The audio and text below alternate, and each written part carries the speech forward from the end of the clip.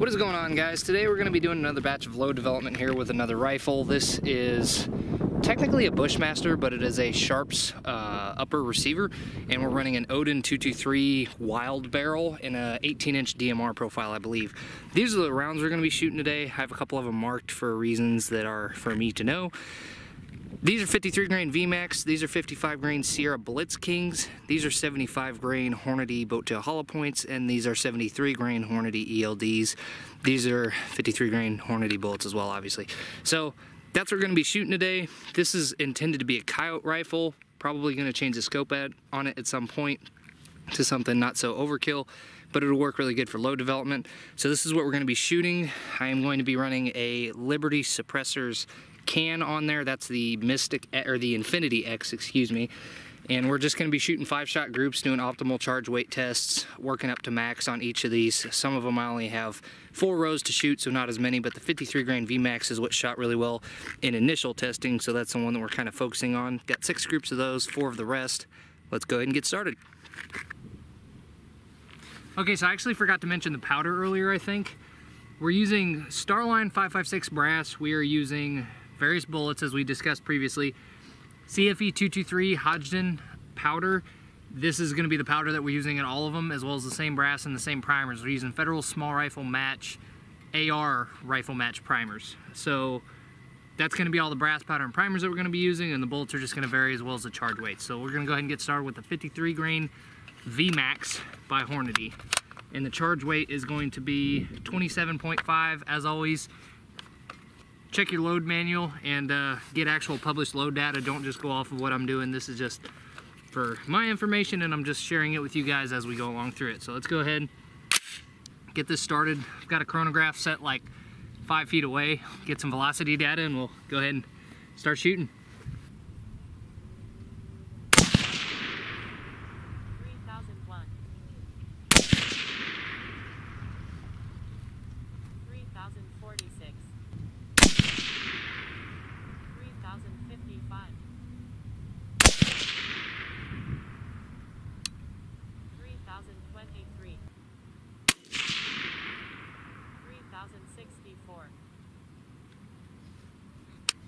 If we can keep everything under an inch today, I'll be really happy. Um, I did some uh, testing with a couple factory loads just to see what this gun might like to shoot right out of the gate to kind of save myself a little bit of time. And these 53 grain V, or I'm sorry, 53 grain VMAX is shot pretty good in factory ammo, so I figured I'd test some, or do some preliminary testing at least, with uh, these in hand loads. So we're just using some once fired Starline brass. This is not new brass. I just resized it with a full length resizer, using some Forster dies, chamfer and deburred the case mouth, hand primed them.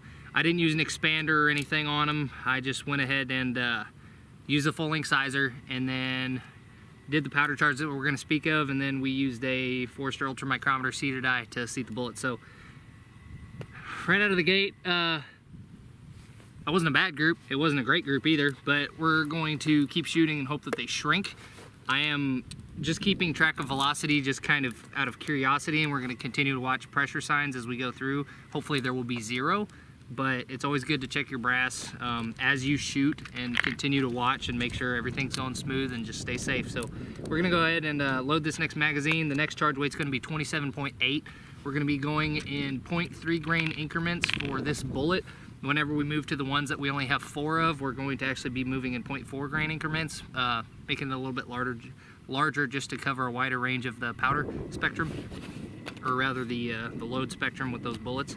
But uh, it looks like the average velocity that we had right out of the gate 3,037 feet per second with an extreme spread of 63 and a standard deviation of 23. That's that kind of sucks. So we're gonna hope that that uh, changes here pretty quick. Go ahead and load the next mag, shoot the next group.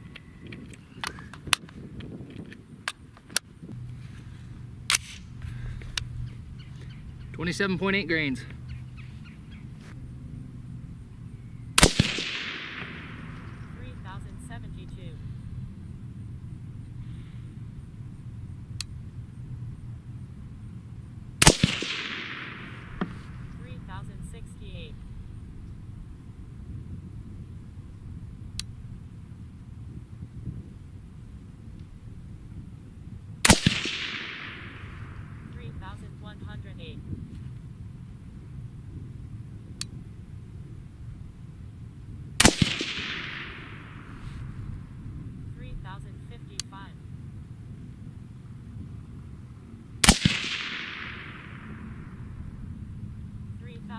3,129.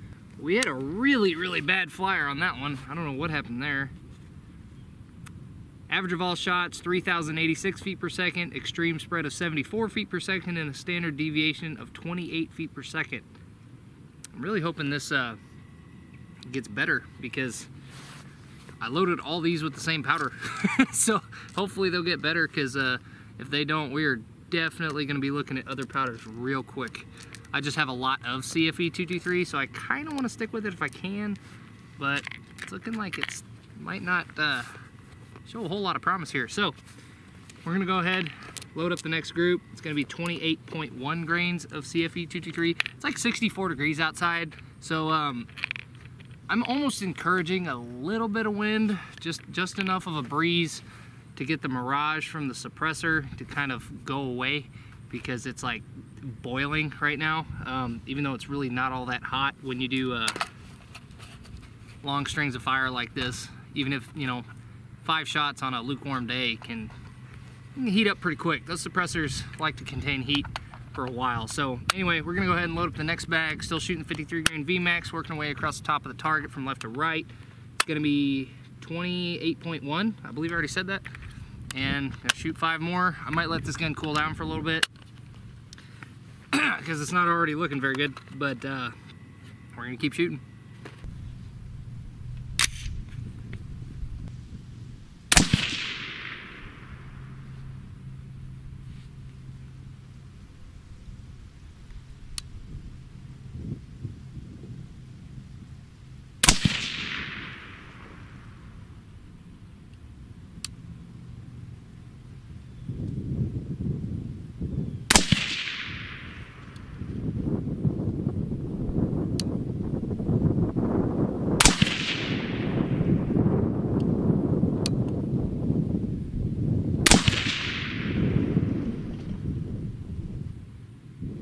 These are really bad considering what I saw the other day. These are these are awful. The last two were at least. The first one was all right, but uh, the group that I shot with the factory the ammo the other day was only three shots, but they were all touching, so it gave me a lot of promise for the barrel. But got a lot of different stuff to test, so it's not the end of the world. We'll go ahead and uh, give the barrel a little while to cool down, and then we'll we'll probably actually we'll throw the barrel cooler in there for a little bit, and then we'll keep going.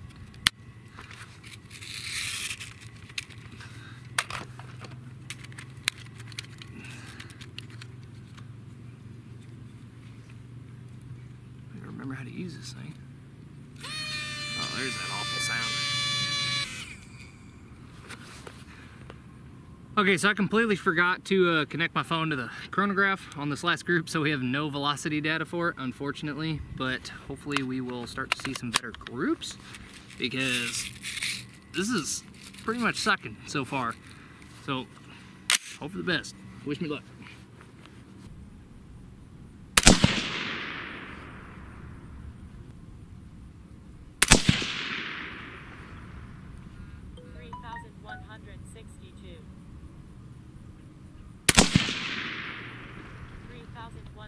48. Now that's more like what I'm used to seeing. See, I, I just don't understand that.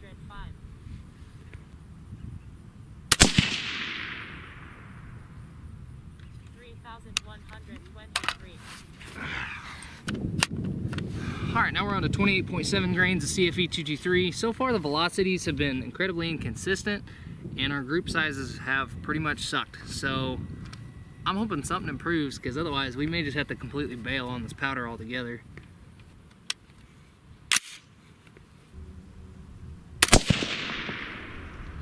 Three thousand one hundred fifty-seven. Three thousand one hundred thirty-eight. Three thousand one hundred ninety-four. Three thousand one hundred fifty-eight. Three thousand one hundred forty-eight. I don't really know what's going on, guys. This thing was shooting really, really well the other day with most of the stuff that I put through it. 3159 has an average velocity, 56 feet per second extreme spread, and 19 feet per second standard deviation. I think that's the first one we've had under 20, which is not something to be proud of, but this is just not looking good so far.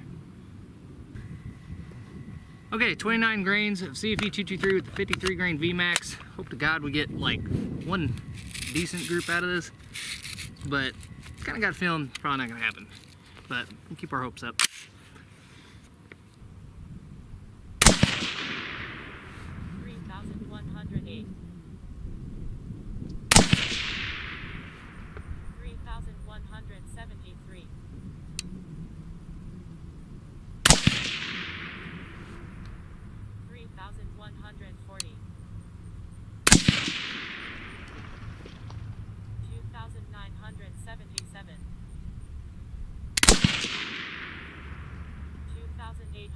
46.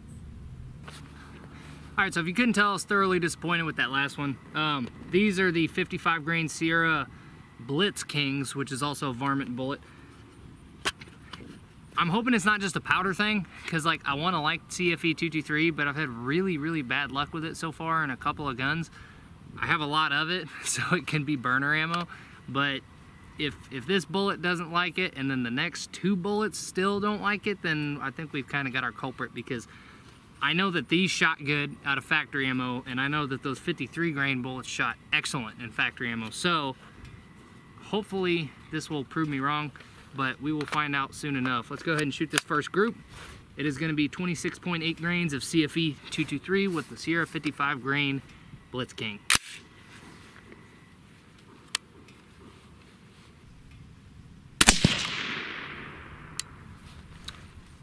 Forgot my uh, cover. Two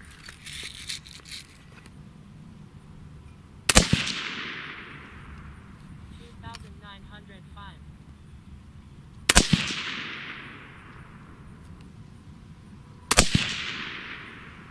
Two thousand nine hundred thirty.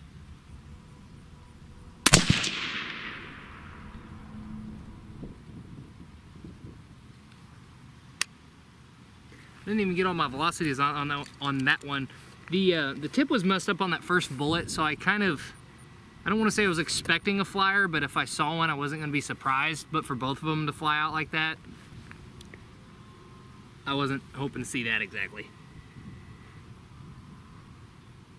Those three went pretty tight, but then those other two did not, and I don't have an excuse for any of the bullets except for that first one to be a flyer. So we will continue on. Keep hoping and praying. Pray, pray, pray. All right, so the next shot string is going to be with uh, 27.2 grains of CFE 223.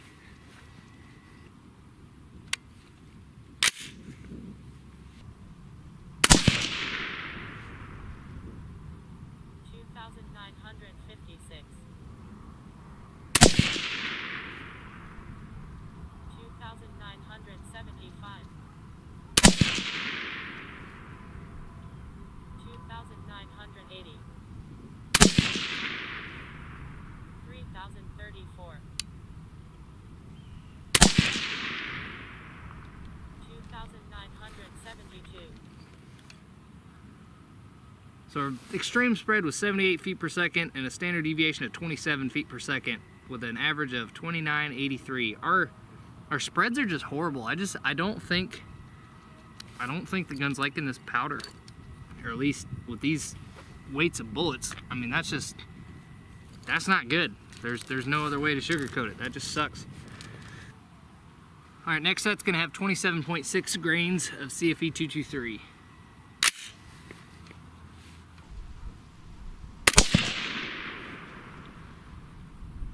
Three thousand forty. Three thousand seventeen. Two thousand nine hundred eighty-five.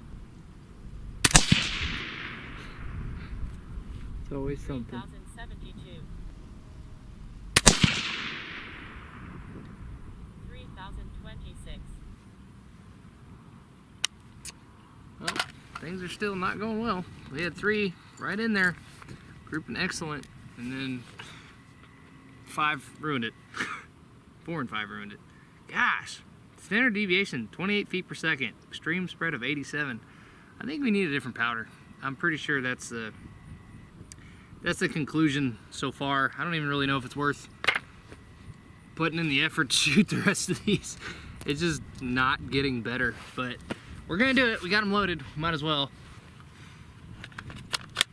All right, one more. 28 grains of CFE 223 for the 55 grain Sierra Blitz King, and then we are moving on to the other ones.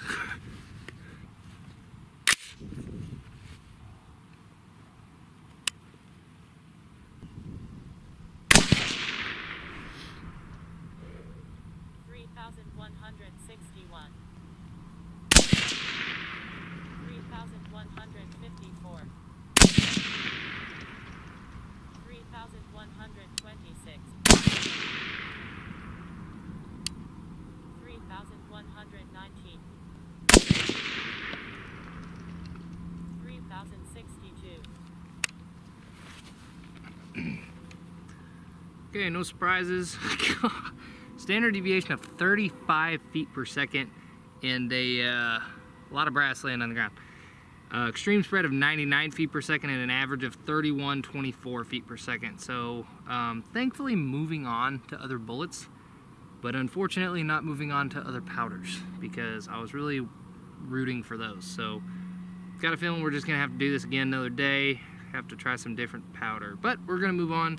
I think we're going to do the 73 grain ELDs first, shooting 25.3 grains of powder in 0.4 grain increments up to 26 and a half grains of CFE 223. So let's get the barrel cooled down and let's hit it.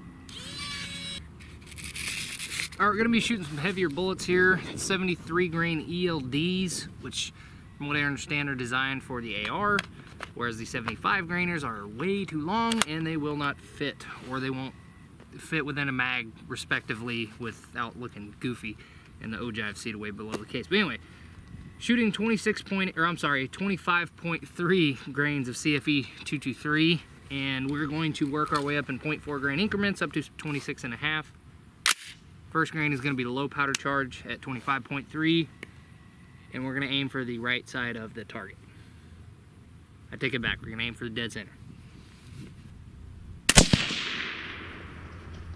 thousand seven hundred forty-six.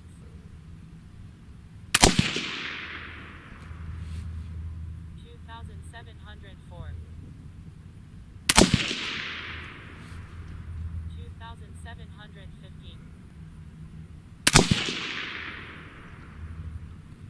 Two thousand seven hundred eight. Well, Nothing's changed. we're still getting some crappy groups. The velocity uh, spectrum's a little better. Extreme spread of 42 and a standard deviation of 15. That's actually an improvement, as much as I hate to say it, but we'll keep going. Even though it seems uh, kind of like waste of time, we're gonna continue this. 73 grains, um, or 73 grain ELD, shooting 25.7 grains of CFE 223, and basically just blowing through ammo at this point. I mean, I'm gonna try to shoot him as best I can, but Lord knows it's kind of waste of time. I also forgot to mention this is actually Lapua brass on the uh, the 73 grain and the 75 grain bullets that we're shooting. The other two bullets that we shot were Starline, but these are actually Lapua 223 brass.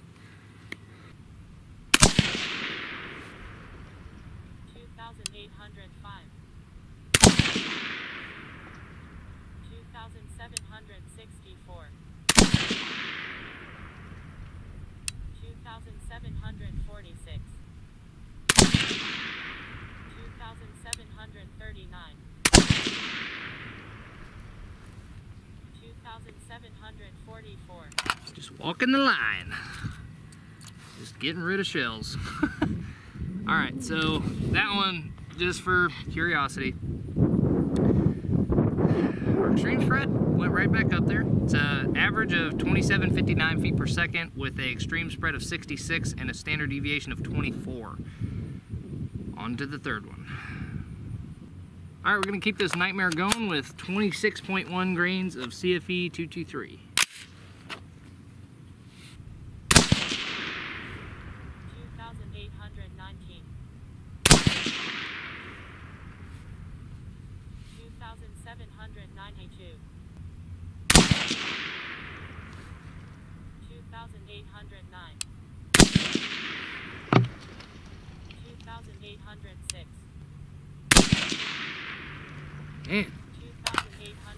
Can't get a single good group today. It's just embarrassing. The suppressor is uh, doing a great job of dirtying up everything that we're using, so that's a plus. One more group, and then we're moving on to the 75s. All right, 26.5 grains of CFE 223 is going to be our last load with this bullet. and we're going to move on to the next. Two thousand eight hundred twenty-seven.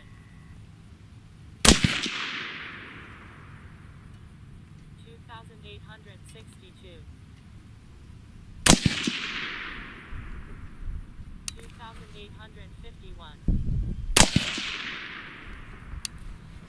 Two thousand eight hundred fifty-four. Two thousand eight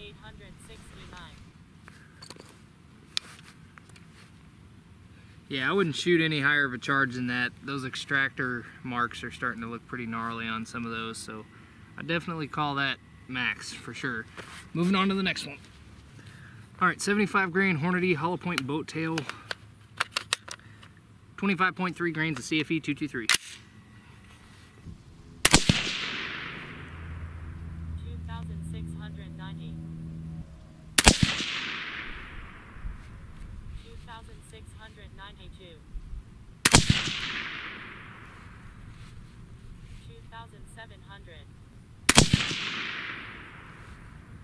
2,717. 2,693. I think it's the second decent group we've seen all day, and we've shot like well over a dozen. But, you know what?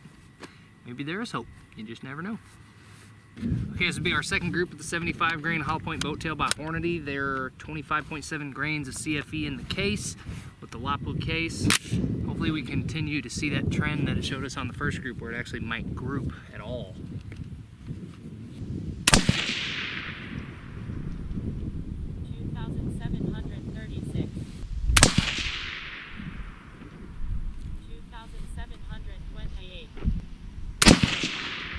Holy crap. Are these things like splitting in half out of the barrel? Lord. Some of the worst groups I've shot in a long time.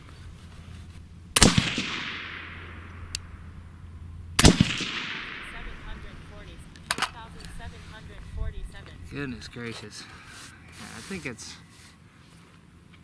it's about time to call this quits. Standard deviation was pretty good. There's a standard deviation of 8 feet per second and an extreme spread of 23 with an average velocity of 2741.